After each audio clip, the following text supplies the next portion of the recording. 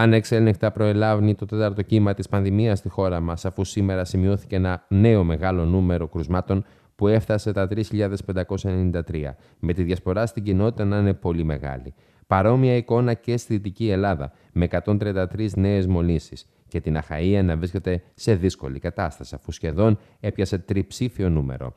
Η διασπορά στην κοινότητα λόγω της υπερμεταδοτικής μετάλλαξης Δέλτα είναι μεγάλη και όσο περνούν οι μέρες δείχνει να επικρατεί σε όλη τη χώρα.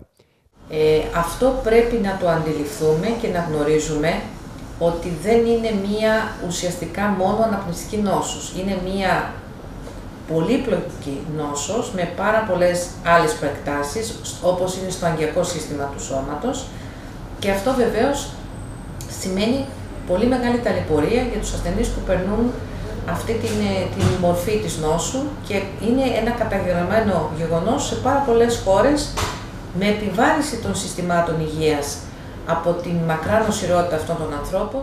Την ίδια στιγμή, οι νοσηλίε στα δύο νοσοκομεία της Πάτρας έχουν αυξηθεί, αλλά προς το παρόν σε ελεγχόμενα επίπεδα, ενώ αξίζει να σημειωθεί πως στα νοσοκομεία, ιδιαίτερα στο νοσοκομείο του Ρίου, νοσηλεύονται και μικρά παιδιά με κορονοϊό.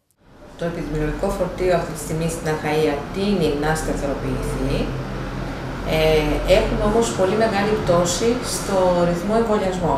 Και αυτό είναι ιδιαίτερα ανησυχητικό γιατί ο στόχος είναι ουσιαστικά να έχουμε ένα τείχος προστασίας που, εν πάση περιπτώσει, θα, μας, θα ανακόψει τη μετάδοση του ιού ε, στην κοινότητα, εννοείται σε όλη τη χώρα.